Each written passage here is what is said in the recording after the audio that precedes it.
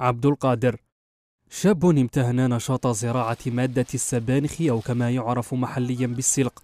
هنا بهذه المزرعة بولاية وهران. يقوم بقطفها وتنظيفها.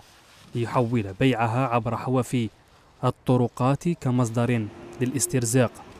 إحنا عندنا هذا السلق قول براس عندي 20 سنة نغرس منه. عندي هذه 20 سنة من اللي 20 سنة من اللي بدينا وبلي بدينا نخدموا فيه. هذه وهذه هو الخدمة تاعنا. ما عندناش خدمة غير غير السلق. هذا السلق هذا نجيبوه من البحيرة. نعاودوا نسقموه نقوه نرشوه بالماء باش يقعد toujours frais. راكي فاهمة. الناس ما كانتش تاكلها بصح كي عرفت الفيتامين اللي فيه الحمد لله زعما رانا نسترزقوا منه الحمد لله يا ربي غاية كاع. السلق من الخضروات الورقية المهجنة يكثر إنتاجها والإقبال عليها بفصل الخريف خاصة فعبد القادر وأقرانه يزاولون هذه المهنة منذ عشرات السنين بهذه الحقول.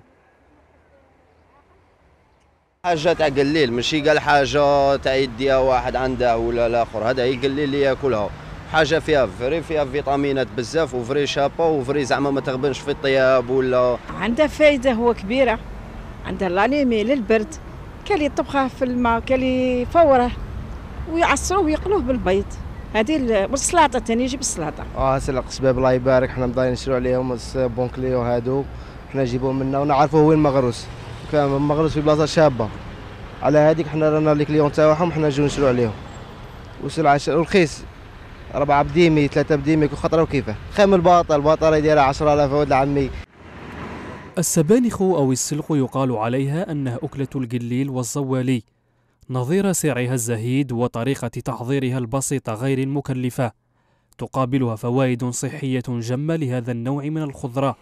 فالمطبخ الجزائري لا يستغني عن هذه الأكلة في مختلف أطباقه.